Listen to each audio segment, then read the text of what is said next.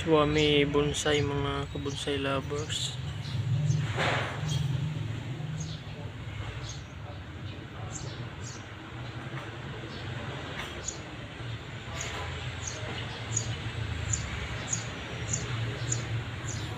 Napakatibay din po nito mga kabonsai.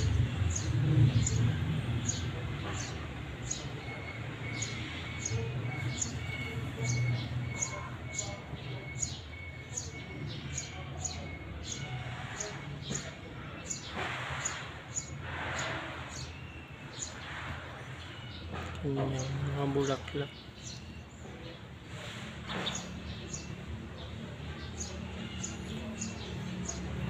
Minsan po mas marami pang bulaklak nito.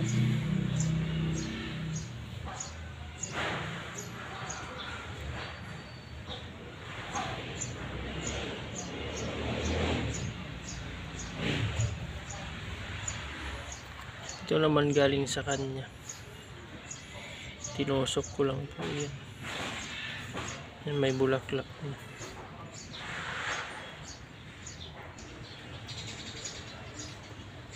Itong tinusok ko medyo matagal na din po ito. Yan.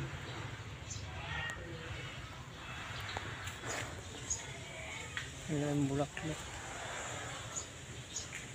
Galing yung tinusok ko na yun, galing po yan sa ganito.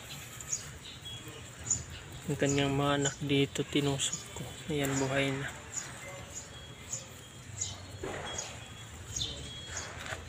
Ayan.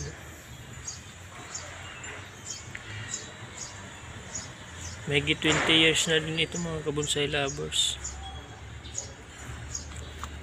Mahigit 20 years.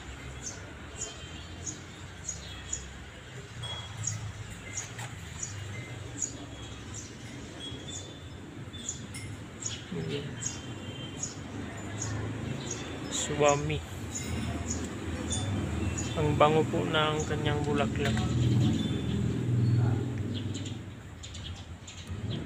Ang bango ng bulaklak niya.